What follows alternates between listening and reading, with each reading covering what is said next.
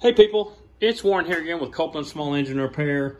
Uh, today I'm going to be talking about a carburetor. Uh, this is a Nikki carburetor on a big V-twin Briggs & Stratton engine. Uh, and it's the one with the bowl on it that looks like this. It's an older one.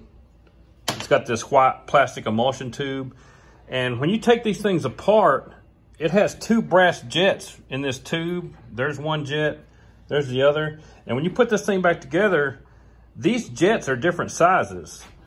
The outside diameter and everything about them is identical, but the tiny hole that goes through the center of them is a little bit different. Uh, one is a little bit larger than the other. Uh, usually when I take these things apart, uh, if you flip this carburetor over, it actually says L and R on the top of the carburetor for left and right.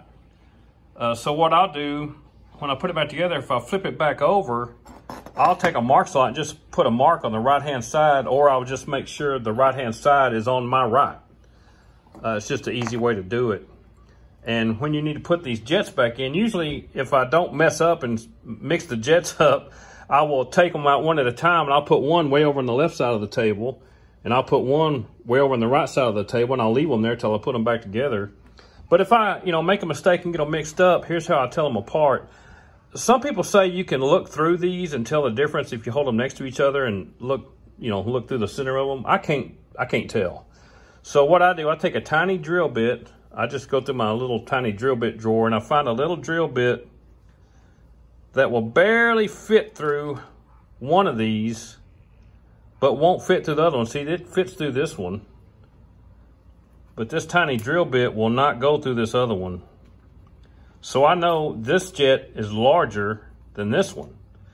Well, the large jet goes on the right and the small jet goes on the left.